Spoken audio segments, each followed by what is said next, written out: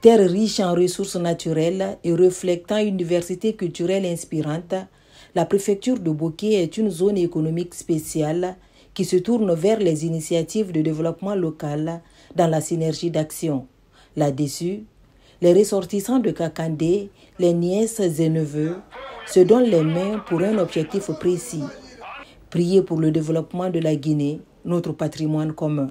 Cette cérémonie de lecture du Saint-Coran a été initiée par l'association des femmes de Kakandé pour la paix et le développement pour prier pour le développement de la Guinée, mais aussi pour toutes les actions de développement entreprises par le président de la République, le général de corps d'armée Mamadi Doumbouya, pour qu'il réussisse toutes les bonnes actions qu'il a pour la Guinée et pour les fils et filles de notre pays.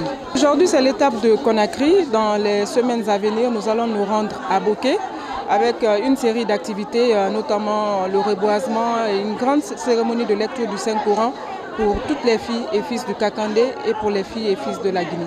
Cette lecture du Saint-Coran est le début d'une grande activité socioculturelle initiée par l'Association des femmes de Kakandé pour la paix et le développement.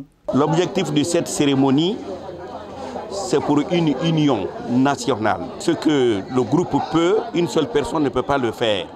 Donc nous avons prié pour tout ça là, pour que Dieu nous aide, que cela se fasse, et surtout avec le temps de Mamadi Doumbouya.